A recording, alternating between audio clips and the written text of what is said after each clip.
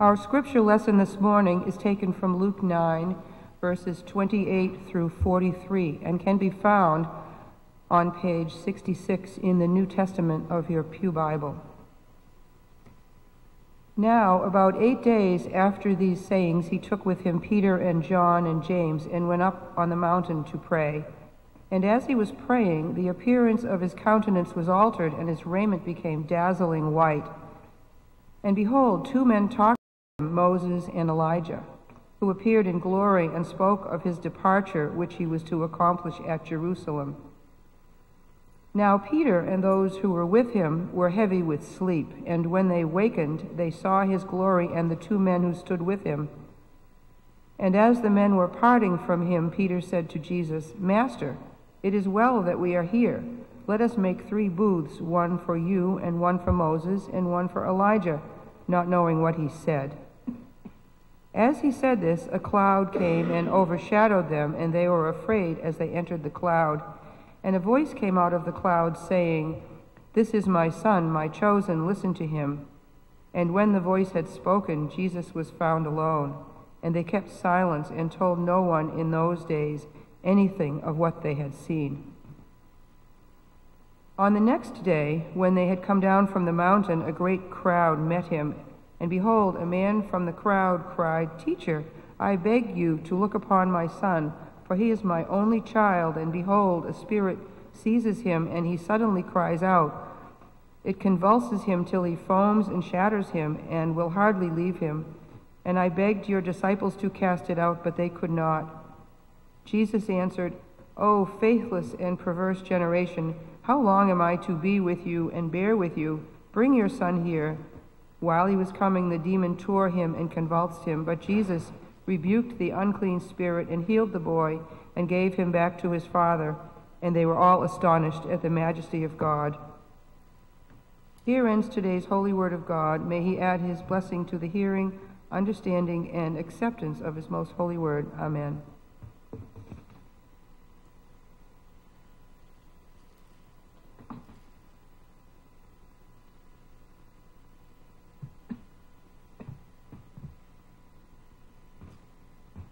Now you hear this word of Scripture as the ushers wait upon us for this offering. Remember, our Lord Jesus Christ said, It is much more blessed to give than to receive.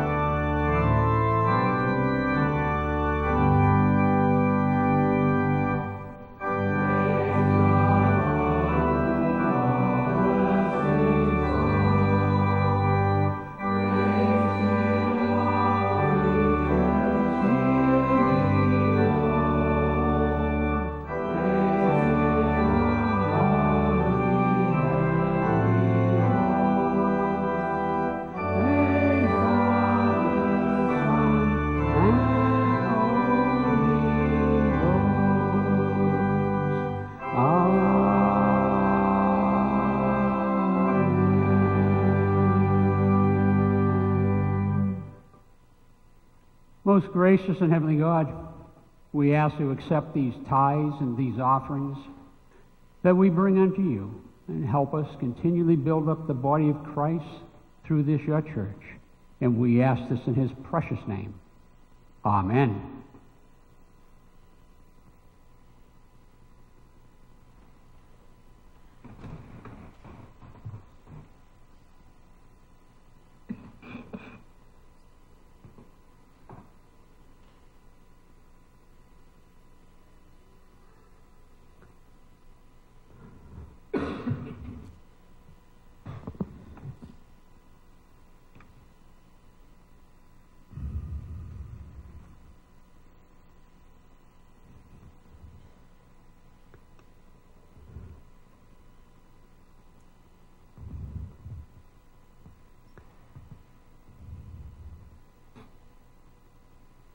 May the words of my mouth and the meditations of our hearts be acceptable in your sight, O Lord, our rock and our redeemer.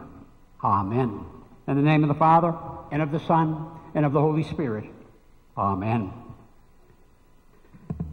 We're human. Interesting to know that, isn't it? To know that we're human. And that can be a strange thought sometimes. You know, I was with a bunch of children today and one of them looked at me and said, Hey, Rev. I said, What? He said, uh, Guess what? I said, What? He says, uh, I'm Spider Man. I said, You are? He said, Yeah. He said, Watch.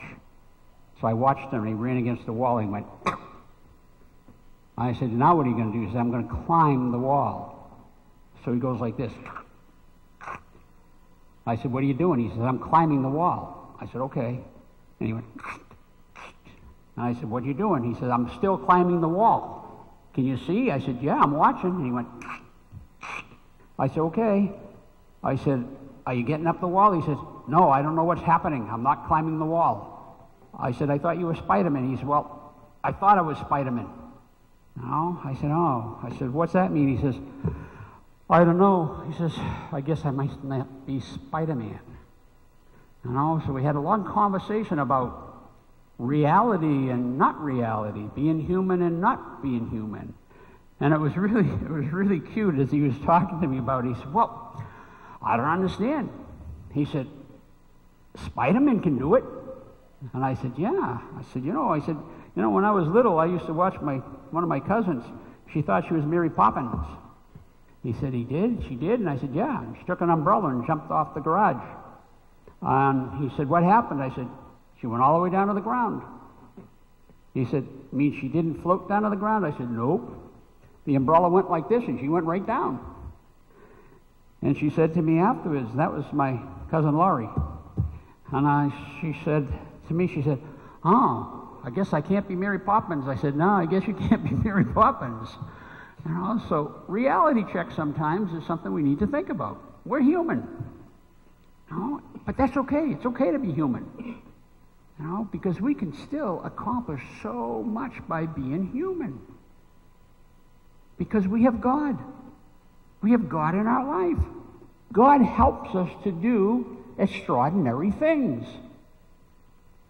He helps us to understand what we can do, how we can do it, and the way we should do it. When we look at the relationship that we have with God, when we look at the relationship that we can continually have with God, God helps us to see those things. And the scripture that was read to us just a few moments ago, we see what he did. Eight days later, he took Peter and James and John with him to the hills to pray. Now, we don't have to go to the hills to pray, do we? We can pray wherever we are. I pray in the car. I pray that another car doesn't hit me or I don't hit another car. Think about it for a moment. You know, many times we have to think about things like that. And as he was praying, his face began to shine, and his clothes became dazzling white and blazed with light. Then two men began to speak to him Moses and Elijah. Now, this is New Testament, and remember, I always talk about the Old Testament too, how it comes together. Moses and Elijah. Those are Old Testament prophets. You know, and here's the guys with him saying, uh oh, Here's Moses and Elijah that we know about, we've read about, because you've got to remember, here's Jesus talking to Moses and Elijah, and they're saying, wow, how does he know them? So now they're thinking, well, here's Jesus, he's human, he's like us, but he must be extra human, because now he's talking to somebody that is beyond human in Moses and Elijah. So now all this stuff is coming together for them. They're beginning to realize that, gee, this guy, all this stuff he's been teaching us is true. But remember, as we're going through Lent, all the stuff that happens. They were splendid in appearance, glorified to see, and they were speaking of his death at Jerusalem. Carry out accordance with God's plan. We always have to remember God's plan the whole plan and what happens during that. Peter and the others had become very drowsy and had fallen asleep. Now they woke up and saw Jesus covered with brightness and glory, and the two men standing with him. Have you ever had a dream, a real vivid dream, and you're not sure if it's real or not real? If you're really awake or not awake? and you have this dream and you're not sure, and the reality you don't know. You know, that's what these men were going through. As Moses and Elijah started to leave, Peter, all confused, not knowing what he was saying, blurted out, Master, this is wonderful. Why don't we build a booth for them and a booth for you, and we can stay here? Now, that would have been a wonderful thing for them, but as you know, that was not in the plan of God. The plan of God was altogether different than that. Because the plan of God was for Jesus to come back down off the mountaintop, mountaintop experience, and how we talk about mountaintop experiences. All right? These three men had an opportunity to have a mountaintop experience with Jesus. We, at times in our lives, have an opportunity to have mountaintop experiences. The trouble is, as humans, we have mountaintop experiences up here. Trouble is, we also have valleys. Mountaintops always have valleys. And we come down into those valleys sometimes, and that's what we call sometimes a depression. When we have problems, we have difficulties because we're humans. But you got to understand, even though we're at a mountaintop and then we hit a valley, it doesn't mean that God's not with us in the valley. Because God is with us. 23rd Psalm. Remember, God is with us in that valley also. Because He's looking on the green pastures, the still waters, He's looking to bring us back up again to the mountaintop experience. It's through prayer. It's through understanding. It's through the compassion of our Lord and Savior. But we need to understand mountaintops are wonderful, but there's always valleys in life too. And we need to understand where we are in that relationship. And a voice from the cloud said, This is my son, my chosen one. Listen to him. So, my question is to us do we listen to him? I know I attempt to listen to him. Do I all the time? No. I'll be honest with you. I don't listen to him all the time. I'm human. Do I listen to my wife all the time? No. Should I? Yes. Makes life easier if I listen to her all the time. But I don't. And when I don't, I get into trouble. When you don't listen to Jesus, guess what? You get into trouble. Because we go our own way, because we're human. We take that other road. Now, eventually, that road is going to bring you back through the valley up to the mountaintop where you want to be. That's what it's all about. We want to try to stay on the mountaintop, but we're not always going to be there. So the important thing is to realize that we need to have Jesus in our lives. You know, I think these things all the time. I get them here. I get them here. But I don't do them all the time. I should, but I don't. I bet you if you ask Pastor Peter, he'd tell you the same thing. Peter and I talk about it all the time, but we're not successful in doing it all the time because we're human. And humans are prone to mistakes. There was only one perfect one, and that was Jesus Christ. Now, we're going to be approaching this open meal in a very few moments. And as I explained it to the scouts, it's the same thing for us. We're coming to this meal for it's an open meal. It's open meal for us. We come from the east and the west, the north and the south. We gather about the table of our Lord, not because we must, but because we may. And that's the important thing. Not because we must, but because we may. It's been made for us to receive the body and the blood of our Lord and Savior. And we need to understand where that's from. And we thank Christ for the presence and for the gifts of the spiritual food. We're faithful, and we need the power of the Holy Spirit to be blessed into our lives. And also the presence and also the leisure to be gathered about his table. So prepare your hearts and minds for the coming of the body and the blood of our Lord and Savior Jesus Christ. Let us join together in our communion hymn, be known to us in the breaking of the bread on page 280.